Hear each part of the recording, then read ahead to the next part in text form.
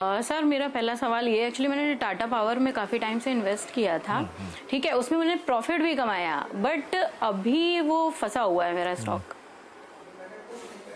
तो ये, ये है लॉन्ग टर्म तो इसमें लिया था मुनाफा मारना था वापस उसमें और खरीदारी कर ली जब गिरा। ऐसा करा था क्या? हाँ जी हाँ जी हाँ जी हाँ जी। ठीक है फंसा हुआ मैंने तो सौ रुपए था तब से बाइंग उसकी स्टार्ट करी थी। To hmm. हंड्रेड तक गया। ढाई सौ तक गया था मेरे ख्याल से।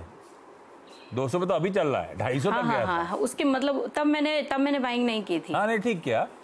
आपके तो ठीक है एक सौ सत्तर की खरीद है। आ, मैं एज्यूम कर रहा हूँ फंडामेंटल्स पढ़ के लॉन्ग टर्म के लिए खरीदा हुआ है है ना? बातचीत से आपको ऐसा लग रहा है कि नहीं?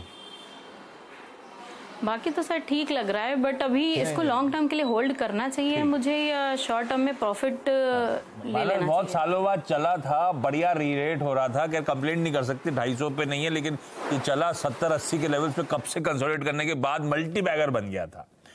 अब ये थोड़ा सा ठंडा पड़ा हुआ है कुछ करके नहीं दे रहा। क्या करूँ मेरी 170 की औसतन खरीद है स्टॉक में। देखिए दो स्ट्रेटजीज हैं। या तो आप लॉन्ग पोजीशन में बने रहिए क्योंकि जो लॉन्ग टर्म चार्ट है वो बहुत ज़्यादा खराब नहीं लग रहे हैं। हम्म। हालाँकि हाई लेवल पे रेजिस्टेंस ज़रूर है 205 से 210 की रेंज में।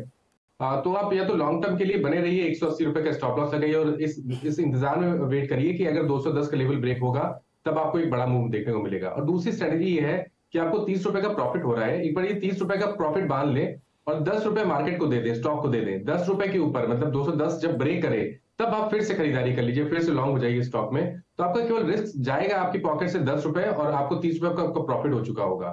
तो ये स्ट्रैटेजी ज़्यादा बेहतर लगती है कंपेयर टू आपको स्टॉक में बने रहना। तो अभी प्रॉफिट बुक कर लीजिए और 210 के ऊपर फिर खरीदारी करिए और तब टारगेट आप दो सौ रुपए के सेट करिएगा।